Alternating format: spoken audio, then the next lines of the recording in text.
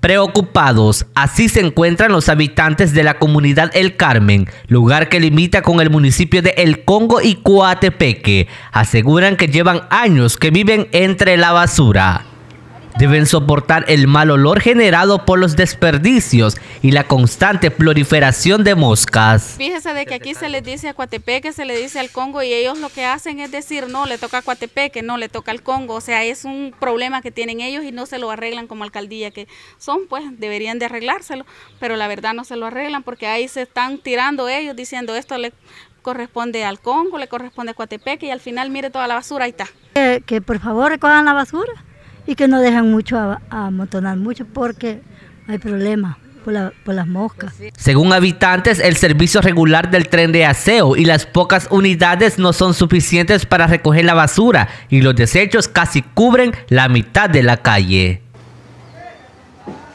Se les ha dicho al alcalde, se les ha hablado por teléfono, se les habla a Coatepec y se le habla también al Congo. Sí, y a ellos les cuesta venir a recoger la basura. Sí les cuesta bastante. Ahí, si ustedes se dan cuenta, no estamos mintiendo, ahí van a ver. Y no es primera vez que ustedes están viendo el basurero ahí. Se hace un gran charco, un gran chilatón, más moscas y más gusanos, más, enfermedades para los niños. Y nosotros vamos a comprar alcohol y por gusto.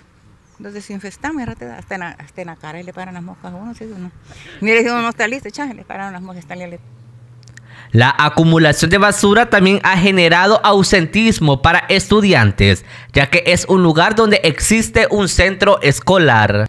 Y vienen a tirar animales muertos y aquí se saca, uno tiene negocio, además en que no tuviera negocio, aquí las casas les afectan por el tufo de los y cualquier cosa también que pueden atropellar a alguien porque el basurero, se, si ustedes se dan cuenta, eso se alarga hasta allá y se viene más acá y cualquier niño, porque aquí pasan niños para la escuela y eso afecta también pues por los niños que los pueden atropellar los vehículos. Vivir en estas condiciones aseguran que puede generar infecciones en niños y adultos mayores, por lo que piden ayuda a las autoridades correspondientes. Con imágenes de Diego García, este es un informe de Jeremías Sánchez.